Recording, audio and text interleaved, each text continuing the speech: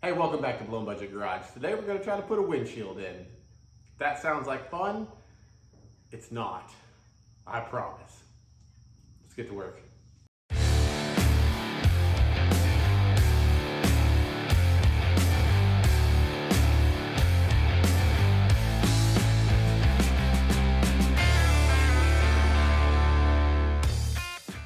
I'm gonna use a bunch of different tools and some of my goose snot. Uh, it looks like it's in a glass cleaner, but this is not glass cleaner. Um, uh, I have all my clips on the bottom. It looks like the sides and the top where the clips go, I'll be able to replace them uh, with everything in. If not, you know, we'll just put some windshield compound on her and call her good. So let me go ahead and mentally prepare, get the windshield unwrapped, get it set into place. These are trim tools, um, technically, but a lot of them can be used um, for trying to get a windshield um, lipped in. Um, you got some real nice thin edges on here. That's got a real nice angle. You have like your traditional straight. I mean, I've got little pieces. I've got all kinds of stuff to remove all kinds of trim um, and panels and everything, but you know, you can use this stuff for this. Um, it works.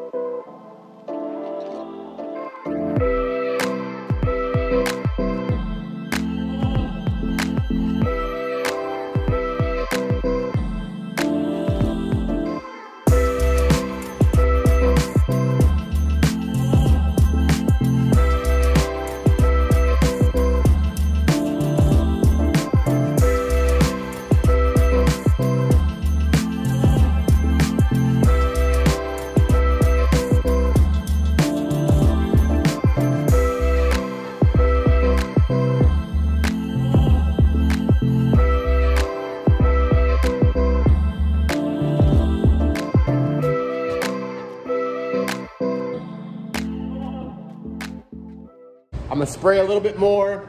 I'm gonna come back up in through here and get this uh, locked down. That'll only take a quick second. And then we're gonna appreciate our victory. You know what I mean? So don't judge the windshield. Obviously I gotta clean it up. Um, what did I use? So again, this says glass cleaner. Obviously you could tell it's not. That is a heavy, heavy, heavy concentration of Dawn dish soap um, and, uh, and just cold water. I'm talking a lot of dish soap and cold water, just a little bit of cold water. Just lightly kind of shake it around to mix it up. You don't want to have a whole bunch of bubbles in there, right? So y'all saw the video. Um, what did we do? I started in this corner, right? First, I, I got the I got the glass set in and I did the bottom first. Then, as you saw, I worked this corner in first, kind of worked my way up a little bit, got the corner over there, lift up over, came over here. You know, I worked on this corner for a little bit. It was fighting me, so I went back over here and just a little bit at a time. Uh, with the glass, guys, as you're putting it in, it's gonna shift a little bit. So if you're over here fighting and fighting and fighting and you get mad and you put too much pressure, you know, you could, that's when you're gonna crack your windshield. If you got a section that's fighting you real bad, you know, come over here, come to this side, do a little bit of it. You know, sometimes it'll help take some of that pressure off. Again, on these A-body Mopars, this top gasket here just folds in on itself. I'm not flipping anybody off. it just folds in on itself. There's no lock strip, it's built in.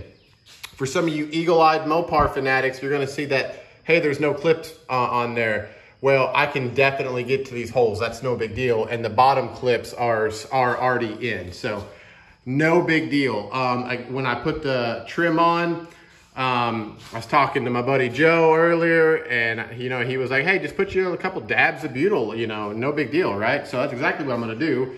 Uh, I'm gonna put the clips in, I'll do a couple dabs of butyl, pop the trim on, ain't no big deal. Uh, unless something happens to this glass, it's not coming out again. And if I can do it by myself, in a metal building shop running off of one extension cord, right? Y'all can definitely do it. Take your time. Have yourself a good um, lubricant. Again, that's what I like to use. Just a very, very heavy concentration of soap, a little bit of water. Um, get you a, a plastic trim um, tool set. They're not expensive. The cool thing about it is that you get the basically the same exact tool as what you get for a windshield tool, but you have different pitches and different widths. And you know, y'all saw me, sometimes one tool was working. Um, if you saw me working the top, you know, you saw that I would put the tool in and then spin it, slide it over, spin it. And this is a battle that you're gonna win just, you know, one or two millimeters at a time. Um, if you think you're gonna just throw your tool in and just you know, at the bottom, yeah, you can do that. You can't do it all over the whole thing. So for these A-body Mopars, man, get your windshield set in at the bottom. Get it lipped in on the bottom. That's what you want anyways because there's no pinch weld on the bottom. You want that to be nice, secure. Start working up your sides. Do not end on a corner. Don't lip everything over and then you're trying to fight a corner. Do not do that. Get you your bottom corner started Get the bottom section lipped over, get the other bottom corner lipped over, start working your way up, get you a corner started, you know, go to about right here or so, so it holds. Go to the other corner, get that lipped over, and then just start working that top, you know. The top, you want to, if you got to fight a, a, section, you want to fight the top. You don't want to fight the bottom. Um, so anyways, that's how you put a, uh, a windshield into um, an A-body Mopar. Uh, hopefully that helps somebody. Um, oh, I gotta fix that little spot right there. Get in there. Anyways, I hope, get in there. There we go. Uh, I hope it helps somebody. If you've never done this before and you're super nervous, it's okay to be nervous. That means you're gonna pay attention, hopefully. It means you're gonna work slowly. Um, just like everything else, right? Slow is smooth and smooth is fast. So if you prepare to be out here for an hour, hour and a half and take your time, your, the investment of your windshield is gonna be just fine. Uh, if you haven't, please hit that subscribe button, give me a like if I helped you. Um, it helps the channel and the algorithm and all of that. Um, if you came here just for the windshield, now you see that I'm doing all kinds of other stuff with this car. Stick around. It's been a lot of fun. Uh, we're almost done with this car, with this build. It's almost ready to uh, be out and about driving. Um, so with that being said, the back glass is going to come next. I'll do another video on that. And uh, yeah, you know, I'm just chewing on this elephant one bite at a time. Y'all, thanks for watching. Have a good week. I'll see you next time.